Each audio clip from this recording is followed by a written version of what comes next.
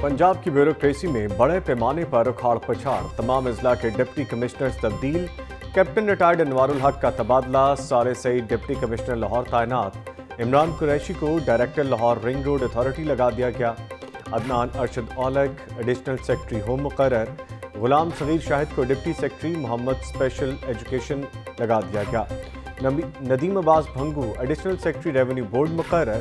رضوان نظیر کو deputy secretary محکمہ food تعینات کر دیا گیا۔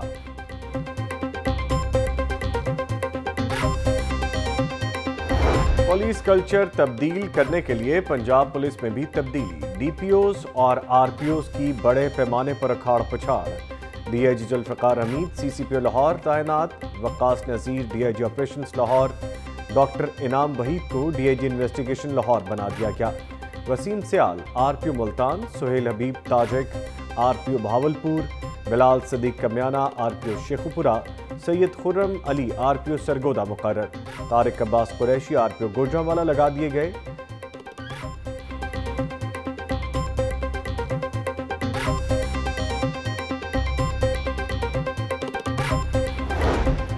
پنجاب اسمبلی کے سپیکر ہاؤس میں پرسرار آتش زکی کرسیوں، بیڈ سمیت فرنیچر اور دیگر سامان جل کر راکھ، آگ سے دیواروں اور چھت کو شدید نقصان پہنچا۔ دوپہر کو لگنے والی آگ پر ریسکیو نے ایک گھنٹے کی کوشش سے قابو پا لیا۔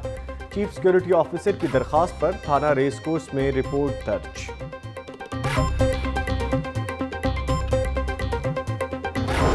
سپیکر ہاؤس پر تحال، سابق سپیکر رانا محمد اقبال کا قبضہ۔ رانا اقبال نے سرکاری گاڑی بھی دو روز قبل واپس کی۔ سپیکر ہاؤس سابق سپیکر کے تین بیٹوں کے زیر استعمال ہے۔ سپیکر ہاؤس لیسکو کے پندرہ لاکھ روپے بل کا بھی نادہندہ۔ نئے سپیکر چودھری پرویز الہی کا انتخاب سولہ اگست کو ہوا۔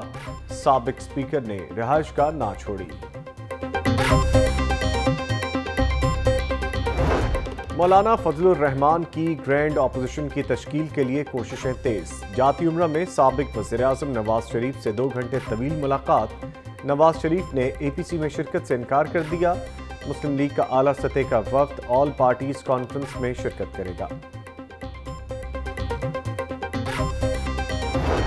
نواز شریف سے ملاقات میں اے پی سی پر اتفاق رائے پایا گیا۔ روپے کی قدر کم ہونے سے مہنگائی میں بے تحاشا اضافہ ہو چکا۔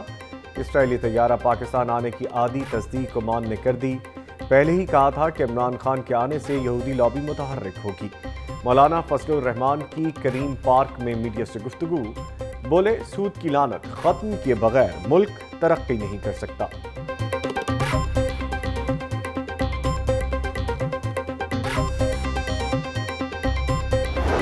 عبدالعلیم خان نے مولانا فضل الرحمان کو بی جمالوں کا کردار قرار دے دیا۔ پہلے نواز شریف اور اب زرداری سب چوروں کو ساتھ ملا رہے ہیں۔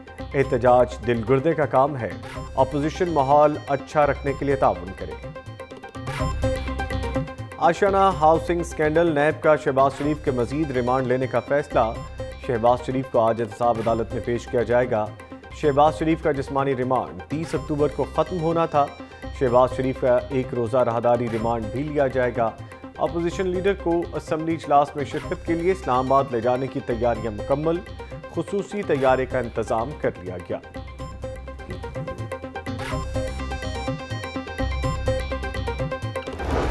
اور نشات ہوٹل گلبرگ میں بچوں کی ونٹر کلیکشن متعارف رنگا رنگ فیشن شو ننے ماڈلز نے ریم پر اپنی اداؤں کا جادو جگایا۔